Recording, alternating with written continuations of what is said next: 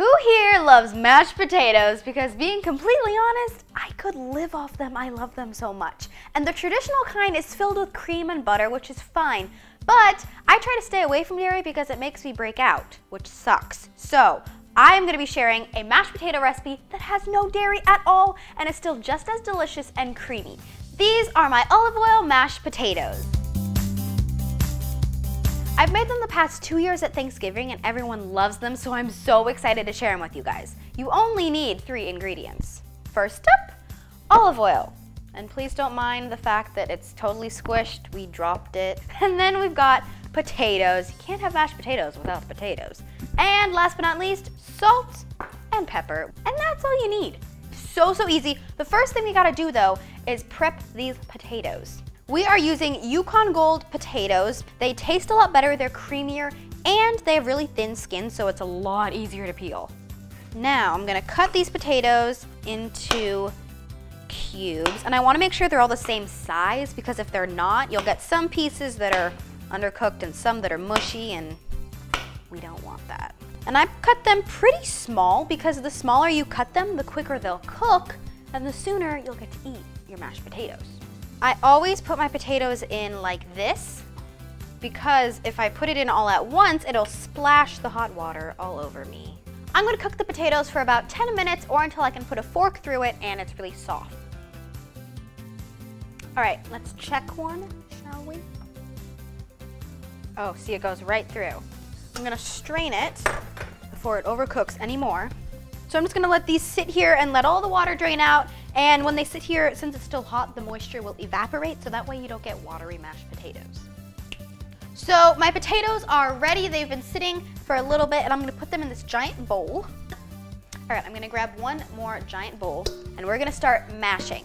I'm gonna use this thing which is a potato ricer.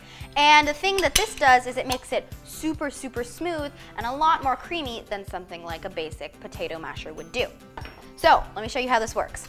You're gonna open it up and it looks like a giant garlic press, I know. Now what I'm gonna do is take a spoonful of potatoes and put it in the ricer like this. We're gonna close it up, make sure that that metal part goes inside, and we press. Now as you can see, we're basically getting like these mini strands of mashed potato. Definitely need to make sure that your potatoes are fully cooked because one year I didn't cook them all the way and I tried to put them through this ricer and it was pretty much impossible. Now the thing is, this recipe is not really a recipe. I'm sorry, I know, I always hate when people do that, but it's true. Really, you just put in as much olive oil as you want until these mashed potatoes become the creamy consistency that you want them to be. So I'm just gonna sort of eyeball it, do a little bit at a time until I get the perfect mashed potato. You don't wanna work it too much because it'll get gluey, but look how perfect this is. They're smooth and creamy. Oh. All right, we're gonna add in a little bit of salt and some pepper, and we mix. All right. Let's give these a taste. Mmm. I love mashed potatoes so much. These are incredible. They're fluffy, creamy, and then that olive oil, it's not overpowering, but it adds another element of flavor and a depth, and it just makes this whole entire dish so, so good. Now, if you're anything like me, you could eat these by the spoonful, just in a bowl by itself.